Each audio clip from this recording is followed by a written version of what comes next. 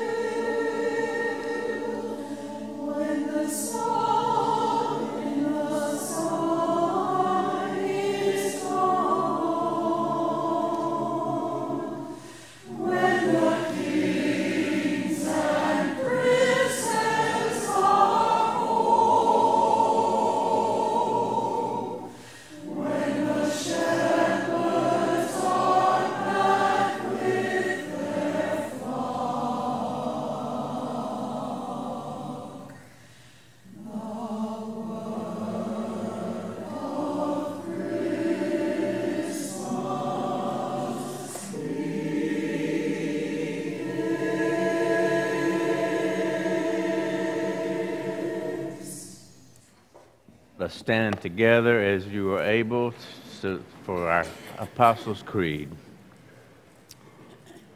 I believe in God the Father Almighty, maker of heaven and earth, and in Jesus Christ, his only Son, our Lord, who was conceived by the Holy Spirit, born of the Virgin Mary, suffered under Pontius Pilate, was crucified, dead, and buried.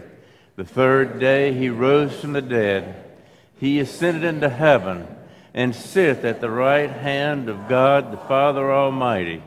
From thence he shall come to judge the quick and the dead. I believe in the Holy Spirit, the holy Catholic Church, the communion of saints, the forgiveness of sins, the resurrection of the body, and the life everlasting. Amen. And may we pray together. Let us pray.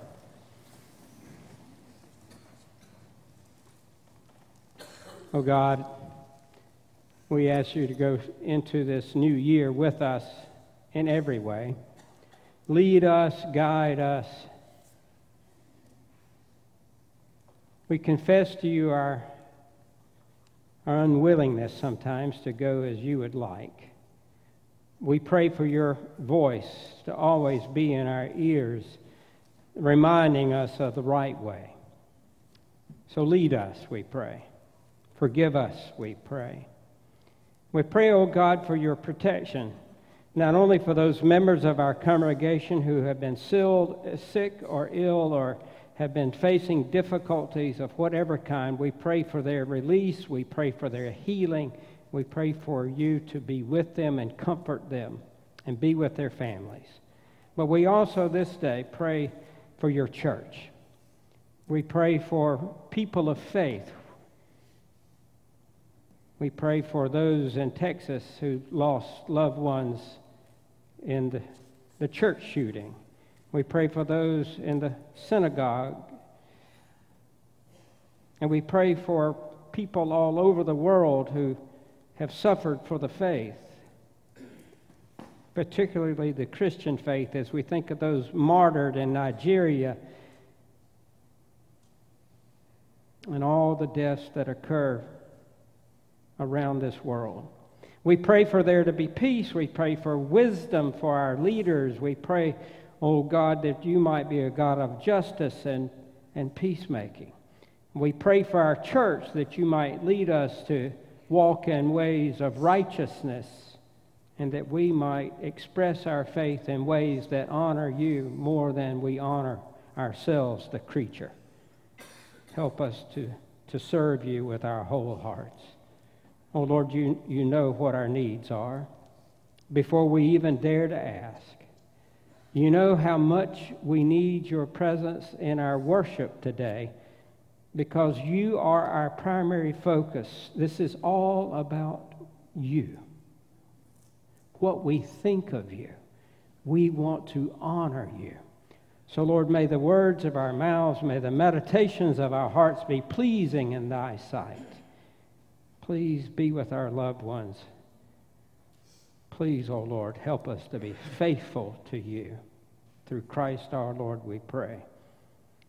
And we pray now as you taught your disciples to pray, saying, Our Father, who art in heaven, hallowed be thy name.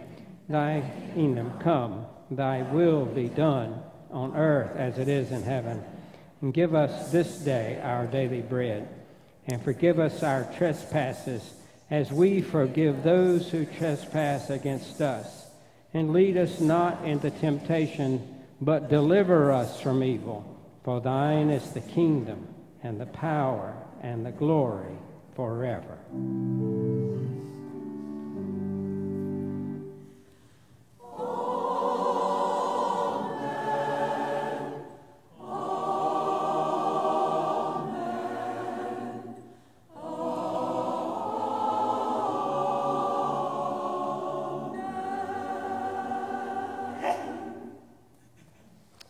Now I'd like to invite the ushers to come forward for our morning tithes and offerings. God has blessed us. All you have to do is look in the bulletin to see how much God blessed us in 2019. And so let us start the year off right. And I give thanks to God for all of you with a heart full of gratitude for your gifts to God last year. May God bless us in 2020.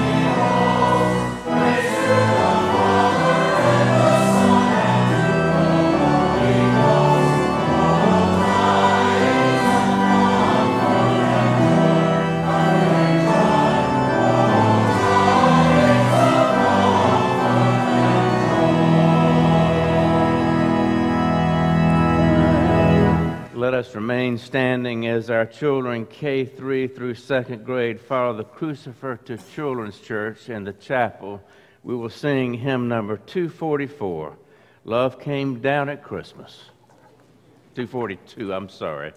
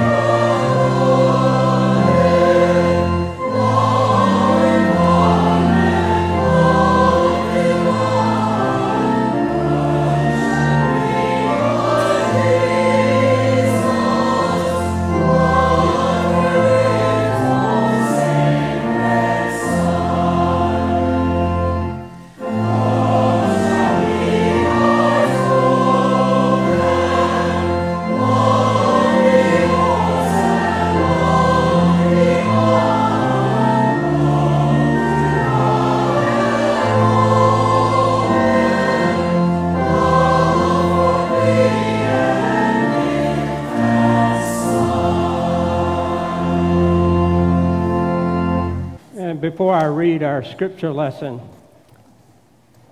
and preach, I would like to make an announcement because I'm sure many of you have heard things on television or seen them on social media and elsewhere about issues in the United Methodist Church that may cause a separation into a more liberal branch and a traditional branch. You'll hear more from me in personal settings or in Bible studies or for instance, um, in these Methodism 101 classes. But this morning, as in every Sunday morning, we're here to worship God and not be distracted in any way. So, if you want to know more information, there are plenty of websites like umc.org or wesleyancovenant.org, or there are plenty of them out there. But I want to say to you that no matter what you may have heard, on what you may have read, only the General Conference, which will be meeting in May, has the authority to speak for the United Methodist Church, not the 16 persons who met this past week. So, what we're going to do is worship Jesus, continue to make disciples, welcome all persons into this congregation, and I want to assure you that we're going to be fine. These in, in, in, in very sincere ways are exciting times to be a Christian, and I think to be a scriptural Methodist. We hold all Scripture to be God breathed. And this pastor, your pastor, will stand firm on the Word of God, and we will be fine. So I invite you to listen carefully, to pray carefully. The future is bright for St. John's and I think for the Methodist Church. So God bless you as you've heard that word. So now from Ephesians chapter 1, beginning at verse 3 through verse 14, Paul writes, Praise be to the God and Father of our Lord Jesus Christ, who has blessed us in the heavenly realms with every spiritual blessing in Christ. For he chose us in him before the creation of the world to be holy and blameless in his sight. In love, he predestined us for adoption to sonship through Jesus Christ in accordance with his pleasure and will, to the praise of his glorious grace, which he has freely given us in the one he loves.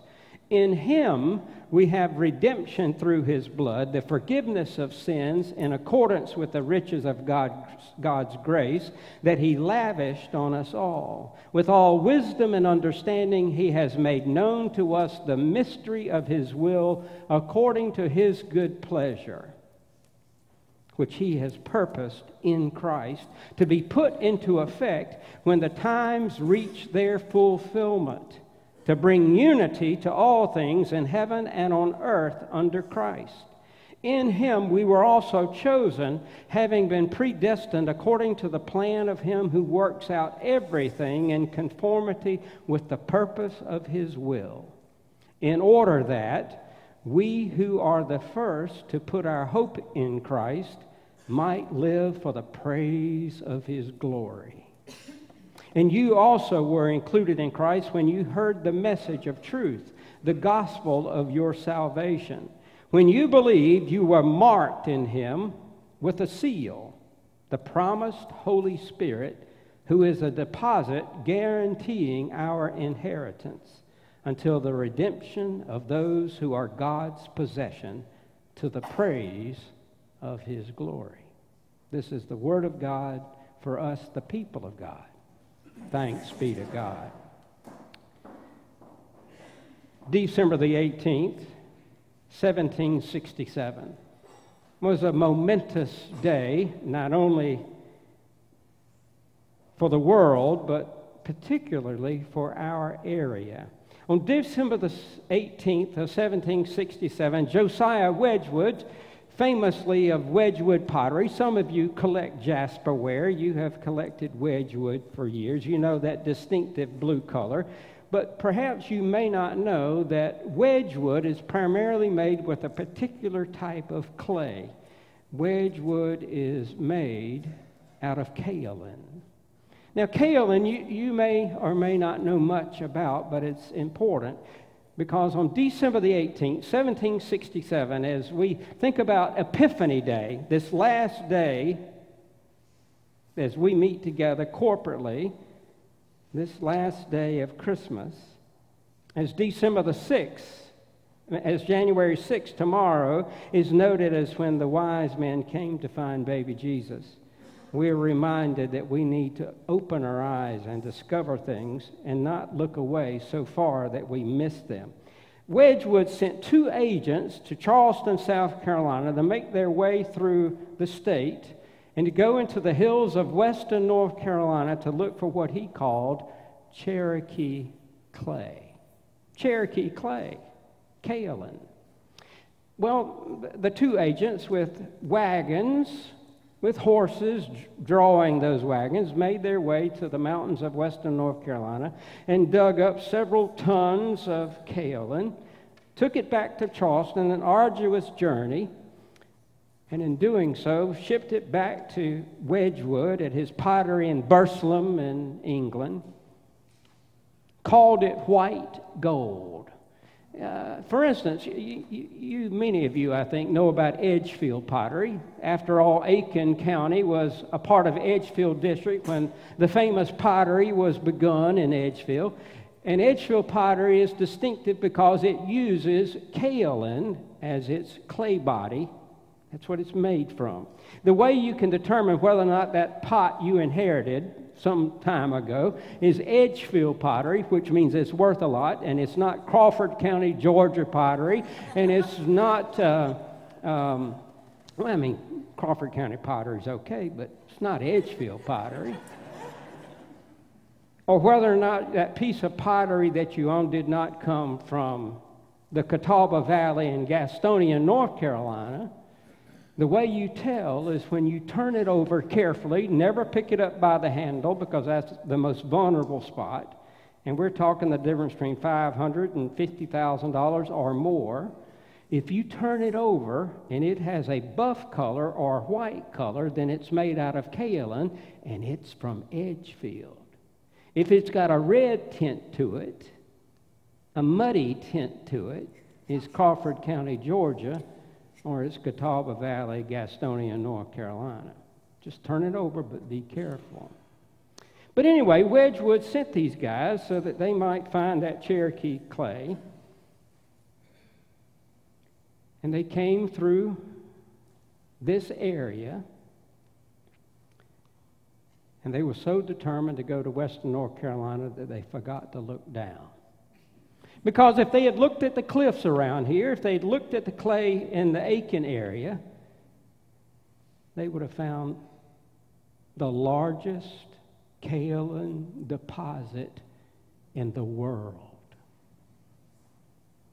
You see, kaolin, sedimentary kaolin, is washed down from feldspar that's been deteriorated in the mountains, and it comes down to the fall line, the fall line where the rapids are on many of the rivers, to the fall line where the rapids are, which distinguish one geological area from another, primarily the difference between upcountry, uplands, and the coastal plain, where there is a sand barrier, which we call, aka the ridge, like as in Ridge Spring, which caught the kaolin and it was deposited if they had just looked down.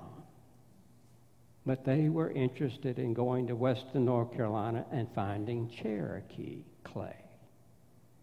And they missed what was here. As a matter of fact, underneath your feet, below the foundation of this church, is one of the richest kaolin deposits in the world. As a matter of fact, one third of the world's kaolin demand comes from Aiken County and in Georgia. South Carolina and Georgia are number one and number two in the world in supply of kaolin. Now, that may not make, much sense to you. You might not call it white gold, but let me tell you what some of the uses of kaolin are. By the way, kaolin is a, is a platy substance. I mean, it's thick. It's, as a potter myself, it's wonderful to throw with. It's smooth. It, it's, what, it's what the Chinese use to make porcelain. It's sometimes called china clay for that reason. It sticks together, it's smooth, it smooths out things. And so it's used for, for, all kinds of purposes. For instance, ladies, most of your, I hate to even suggest that anybody in this congregation would use it for such, not because, well, you don't need it, uh, at least with my eyesight, but it's used to put on your face to smooth over wrinkles that's one use for kaolin. Not that any of you need it, of course. But kaolin is also used in other ways. It puts the white in your blouses or the white in your shirts. It's used to dye cloth. Kaolin is. If you go to McDonald's or Chick fil A or wherever you find your favorite milkshake, it's turned white if you like vanilla like me with kaolin. Kaolin is used to make paper white it's used to, even with colored pieces of paper, put the gloss and put the finish on it. Kaolin is used in cement manufacture, and for that reason, South Carolina is number one in the United States in cement production. It's used in paint to help give it a reflective ability. It's used in making rubber, it's used in making ceramics of all kinds. It's used in everything, including good old Kaopectate that coats your stomach and protects it when you've had something that's too spicy, perhaps. It in, indeed is white gold. And I bet many of you have been all around Aiken County and you've found places, you've been beside or nearby kaolin mines that are still in production, but those two guys from Wedgwood were so determined to go to western North Carolina, they missed it. They missed it. What happens to us when we miss what's right in front of us? Well, we miss out on having an epiphany. An epiphany is a revelation, it's a, an aha moment, it's a, it's a manifestation of something important that otherwise you would have missed. You have an epiphany. Well, I have, I've had an epiphany. As a matter of fact, if it weren't for kaolin, Aiken probably would not be here.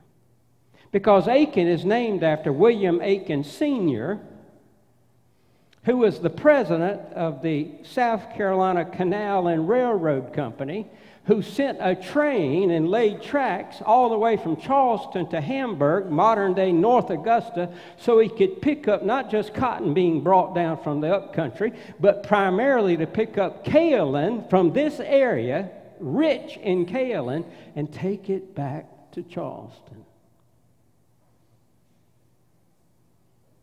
Aiken, name for him, existing because of the railroad, might not be here if it weren't for kaolin. But those two guys from Josiah Wedgwood's employ missed it. So, Epiphany season reminds us not to miss what God has for us. And what does God have for us? God's got all kinds of things for us. The wise men teach us that. They followed the star and they went to Jerusalem following that star, thinking that the one born king of the Jews would certainly be in a palace in Jerusalem. And they asked King Herod, Where was the child? They almost missed the child, just like those two guys from Wedgwood. But no, they kept following the star and they went to lowly Bethlehem and they found the Christ child. Epiphany season and this whole synopsis of the story and history of kaolin is a reminder that we need to make sure we look around us before we go in the wrong direction. Wise men and wise women don't miss the obvious. They, they look for the revelations under their noses or right under their feet. Paul does that in Ephesians chapter 1, verses 3 through 14. He has an epiphany, he has an aha moment. You might have noticed the inflection in my voice as I talked about all the things that Paul says in this, in this passage of Scripture. And really, it's not just a passage of Scripture, it's one sentence of Scripture. Paul is so overwhelmed, he uses no punctuation marks at all. He doesn't put a period where the English translators have put it. It's a 220 word sentence. It's a two, can you imagine if you would pass English? If you wrote a, one sentence that had 220 words in it, it's a run on exclamation of his own epiphany of everything we have in Jesus. So, in these 10 verses that I read, he gives 10 things that we have in Jesus. And for Paul and for us, that should be an epiphany. Better than white gold, better than kale, and better than finding the prettiest jug in the world of Edgefield pottery. It's magnificent what we have in Christ. So, 10 times he lists the things that we have in Christ, in Jesus. He says, for instance, in Christ we have God's glorious grace. In Him, God the Father has chosen us. In Him, we have been adopted. In Him, we have redemption. Who doesn't want to be redeemed? In Him, we have forgiveness. Who doesn't want forgiveness? In Him, we are for the praise of His glory and given His purpose to live according to the praise of his glory. In him we have been marked with the seal of the Holy Spirit as a guarantee of our inheritance in him, meaning in Jesus. So, over and over again, the epiphany that Paul writes about in this 220 word long sentence, it's all about what we have in Jesus. We're chosen, we are adopted. We are redeemed. We are forgiven. We're, we're given a purpose in life. We have the Holy Spirit as an, a deposit to guarantee our inheritance in Him. We have everything that we need in Jesus. That's the epiphany that I need, and perhaps you need, as we go into the year 2020, as we have this year as a magnificent year. We need to keep the stars in our eyes, and we need to follow God's revelation. All Scripture is God breathed, it provides God's revelation. There's general revelation in the, the sky and the stars that led the wise men. There's revelation from God in lots of places, supremely in Jesus, of course. It's all a matter of whether we open our eyes and see it and not be like those Wedgwood dudes who missed it. They missed it. Well, sometimes we miss it. So let me do a little experiment with you. I want you to look at the back of your hands. Just look at the back of your hands. And if you're like me, I, have got a bulging blood vessel there. Now, it looks blue, but if you got cut on that, what color would it be? What color would the blood be? It would be red. Why would it be red? Well, doctors and scientists and nurses would tell us it's red because of hemoglobin. And where does hemoglobin come from? Hemoglobin comes from iron. And where does iron come from? Iron comes from supernovas that occurred eons ago, stars that died out and burst forth iron particles throughout the universe. And in this swirling mass that we call Earth, iron has come. And so, literally, when you see that blood vessel in your hand, and when you see red in blood, you're seeing stardust. You are seeing stardust. Now, I don't know about you, but when I get up in the morning and I look in the mirror, I don't think, well, hey, stardust.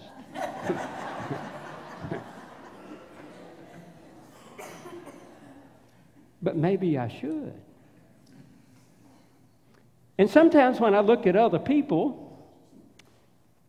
I don't know if I really want to say about that person, hey, Stardust. but let me tell you, that's what we are, is Stardust.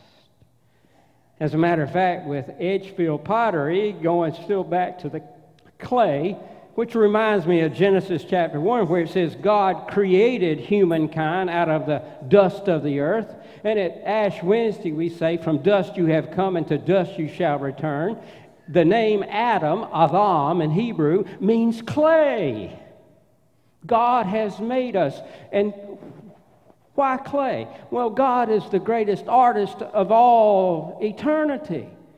And the artists of the ancient world, they used clay for writing tablets. They used clay to make vessels to carry things. They used clay to make all sorts of things, art and everything else. So it's only natural for God to use the dirt, the dust, the clay of the earth to create you and me. And that's an epiphany. So, we, in order to keep the stars in our eyes and have a positive attitude about this new year, we need to remember the words. We need to remember the words of Psalm 139, verse 4, that says, My God, I will praise you, for I am fearfully and wonderfully made. Because you're made out of stardust. So when you get up in the morning, I want you to look at your face and say, Hey, Stardust. I want you to have a better attitude about yourself, and not just a better attitude about yourself, but a better attitude about everybody. This church values everyone. That's who we are, and that's who we will remain to be because of what we have in Jesus, as Paul declares it in these wonderful verses. Indeed. So many of us, however, suffer from an iron deficiency. And I'm not talking about iron poor blood in some Geritol commercial. I don't even know if they still make it. But we suffer from an iron deficiency that causes us to have poor self esteem. And I think God wants us in the year 2020, no matter what we're going through, to know that we are valuable. We are valuable. We are made of stardust every atom of our being. You've heard of Carl Sagan, great scientist, astrophysicist. This is what he said Our planet, our society, and we ourselves are built of star stuff. This is the way he put it. And then another scientist, Chet Raymo, he says, We are indeed the detritus of stars. Our atoms are the flour of celestial mills. Our bodies are the burning of solar fires.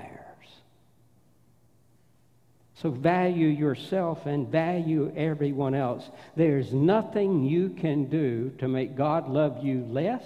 There's nothing you can do to make God love you more. In Jesus, we have redemption. In Jesus, we have been adopted. In Jesus, we have been chosen. In Jesus, we have been forgiven. Everything we need, Jesus. So, I will praise you, O God. Let this be your verse for this new year, 2020. I will praise you, O God, for I am fearfully and wonderfully made.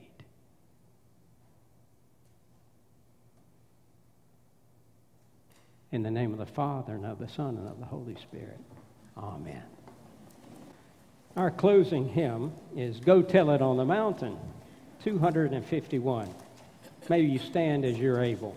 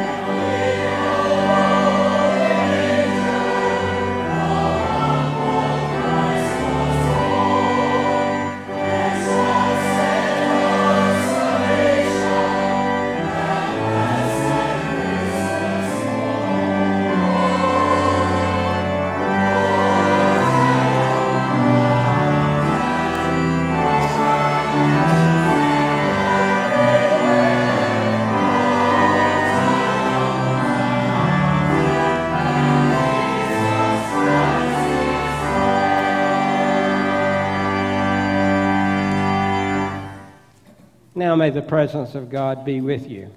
Father, Son, and Holy Spirit, Spirit, reminding you that you are fearfully and wonderfully made, and that the God of all grace is in you through his presence of his Holy Spirit to redeem you and protect you.